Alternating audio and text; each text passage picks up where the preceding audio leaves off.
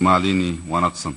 Ra'iisul wasaaraha dalka etoobiya dor abiy axmed waxa uu sheegay inuu ku faraxsan yahay inay isugu yimaadaan magaalada jabuuti. Waxaana uu sheegay inay halkaasi isugu yimaadeen dad walaala ah oo isku dhiig ah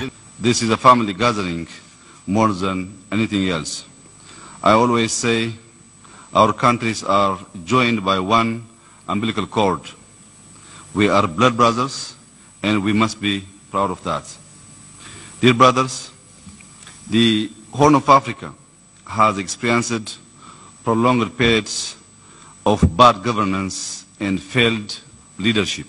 isagoo waana u jeedinaya madaxweynayaasha somalilan iyo soomaaliya dor abiy axmed waxa uu yidhi saaxiibayaal geeskan afrika waxaa daashaday dowlad xumo iyo fashil hogaamineed waxaanaynu caan ku nahay burburin iyo barakicin iyo tobannaano sano oo dibudhac dhaqaale ah taasoo ay horseedeen colaado aan micno lahayn With the destruction, displacement, and the decades of economic backwardness generated by senseless conflict.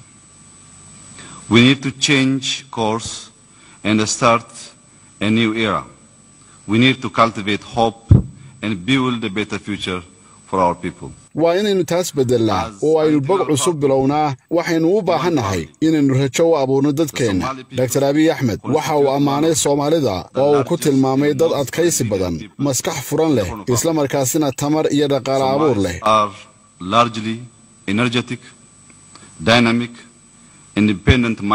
tobannaan sano oo kala carar iyo colaad ahaa kadib dadka soomaalidu waxay maanta u baahan yihiin hogaamin xikmad iyo dhiiranaan leh kaasi oo kasban kara una horseedi kara horumar iyo barwaaqo. After decades of conflict and despair, Somalis are yearning for charismatic, visionary leadership that can galvanize their spirit. marka dhinac la isaga dhigo kala duwanaantiinna hogaamiyeyaashu waa idinka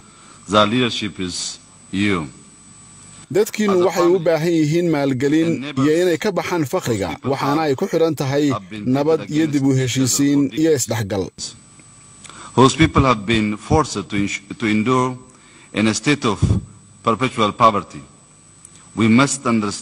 ra'iisul wasaaraha dalka etoobiya dor abiy axmed waxaa kaloo uu sheegay in madaxweyne muuse biixi cabdi iyo madaxweyne maxamed cabdilaahi farmaajo inay hor taallo fursad ay ku doortaan iscafin iyo isu soo dhowaansho dib u heshiisiineed taasi oo muujin karta awoodda shacabka labada dhinac.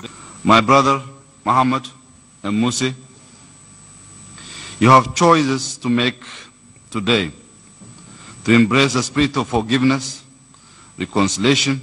and genuine healing and unleash the power of your people. The leadership you make will also have profound impact hogaamintiinnu waxay saamayn ku leedahay gobolka iyo qaaradda afrika soomaaliya heshiis ah nabdoon oo barwaaqo ah waxay yeelanaysaa micno weyn oo dhaqaale had the potential to become a formidable economic powerhouse. Somalia is endowed with abundant natural resources that soomaaliya waxay leedahay khayraad dihin xeebta ugu dheer macdano iyo gaaska dabiiciga ah. soomaaliya nabad ah oo heshiisa waa xaalad loo baahan yahay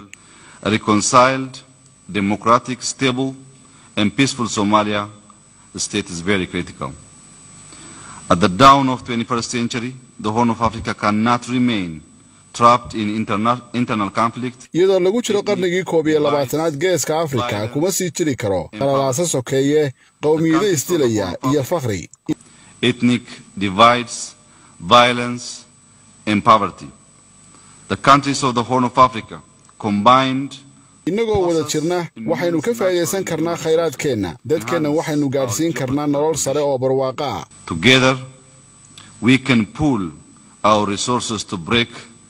the vicious cycle of poverty and despair and uplift the lives of our people.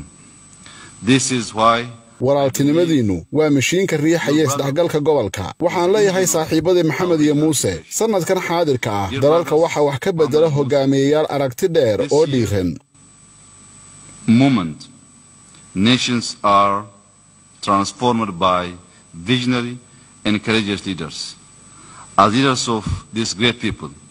Hogaamiyeyaashiinnan shacabka quusta taagan. Waad haysataan awooddii aad shacabkiinna ku gaadhsiin lahaydeen. Riyooyinkooda nolol wanaagsan. Wadajirkiinnu wuxuu keenayaa inaad kobocdaan oo aad wada kortaan. Your strength lies in your solidarity. Together, you can rise as a nation and overcome monumental challenges. Awooddiinnu waxay ku jirtaa iskuduubnidiinna qaran ahaan. Waxaanad ka adkaan doontaan caqabadaha idin hor taagan ra'iisul wasaare abiy axmed waxaa kaloo uu sheegay inaanay jirin hab kale oo xal lagu gaadhi karo oo aan ka ahayn in la wada fadhiisto oo la wada hadlo taasoo uu ku tilmaamay dhaqan wanaagsan oo wax lagu xallin karo. dhinacyada oo dhanna ay arrintaasi maanta ka go'an tahay waa soomaaliya somalilan iyo waddamada gobolka